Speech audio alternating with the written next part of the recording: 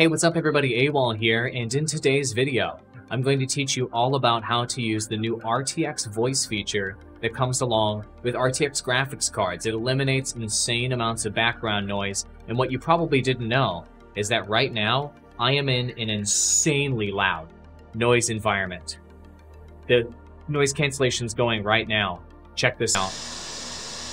This is the way it actually sounds in this environment right now. I've got a overhead fan, an air conditioning, a noise, a white noise app at full volume, and a thunderstorm in the background. It's the worst environment ever for recording audio. And then when I turn the noise cancellation on, it makes all of that noise go away. If you want to know how to use this technology, which is the best noise cancellation technology live, at least, I've ever seen, here's the tutorial on how to set it up for OBS. This is just freaking crazy. It's just freaking insane.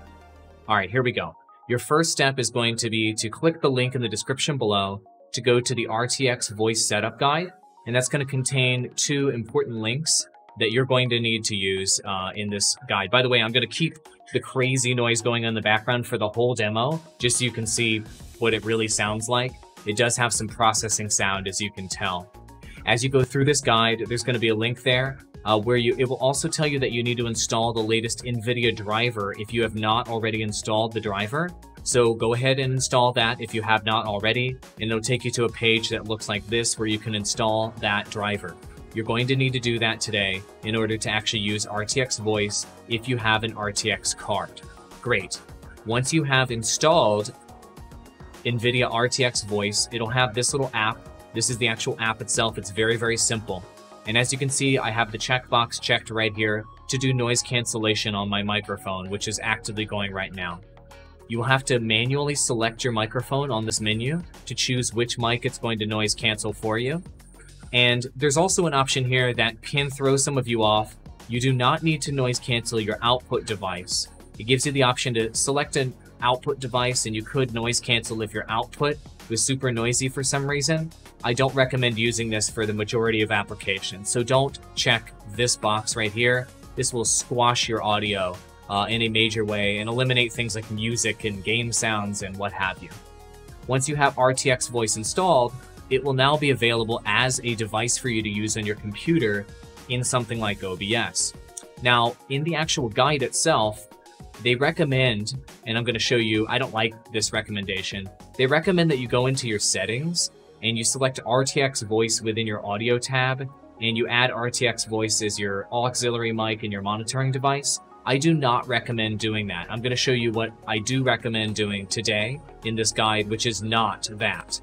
What I recommend doing is manually clicking the sources button here in OBS and doing an audio input capture, and then choosing your RTX voice here under device as your device and manually adding it to OBS, not making it a default device, okay? Once you do that, you have RTX voice in here as an audio device in your computer that you can now use. And all of your audio that's coming through the microphone that you selected here is now coming through RTX voice here in OBS. So it routes from this software to this software. You get it? I wanted to show that visually so you understand that's coming from this software to this software, and that's what you're seeing here. But the setup is not complete. In order to have RTX voice work properly, you're going to need to sync up your audio with your video uh, because RTX voice will take a little bit extra time to process all that audio because of how insanely loud it is. Let me turn this off just to remind you, it's still this loud. It's still this loud in here right now, and I'm still talking to you, okay? Let me turn RTX voice back on. So much better, right? All right. Now, what you're gonna do is you're gonna click the cog here next to your audio input capture so you can sync up your voice with your audio or your gameplay with your audio, whatever you're doing. It's probably voice with video, right? Click advanced audio properties. And what you're gonna do is you're gonna create a sync offset, which is going to slow down your audio from RTX voice to match the video signal that you're giving since they're both processing, right? I recommend starting at 100 ms and hitting OK, and then, or hitting close, and then doing a test recording down here and playing that back to see if that works for you and to see if that is synced up for you. After you've done a number of test recordings, you'll be ready to go, and you'll be using the most insane noise cancellation in the history of humanity. Once again, one last time, because I think this technology is so remarkable. I'm turning it off. This is the way it sounds in my space right now. It's freaking horrendous. And then when I turn the noise cancellation back on, this is the way it sounds. If you don't already have a computer that has an RTX graphics card in it, I'll recommend to you the laptop I'm using right here, which has a uh, RTX 2060 graphics card in it. It's a creator laptop.